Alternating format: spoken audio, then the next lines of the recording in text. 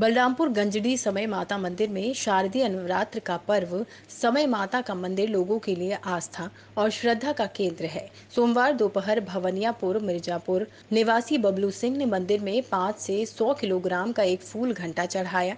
इस मंदिर में पहुंचकर श्रद्धालुओं की मांगी गई सभी मुरादें पूरी होती हैं।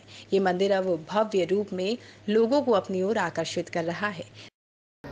आज से चार महीने पूर्व पहले मैं यहाँ एक चार किलो सात सौ ग्राम का घंटा चढ़ाया था। कौन से स्थान पे? समय माता गंजड़ी। जो कि चोरों द्वारा इसको खोल लगे। उसके बाद में ललिया पुलिस के प्रयास के द्वारा चोर पकड़ा गया। जिसके सदन में मैं फिर दोबारा यहाँ पाँच किलो सौ ग्राम का घंटा चढ़ाया हूँ।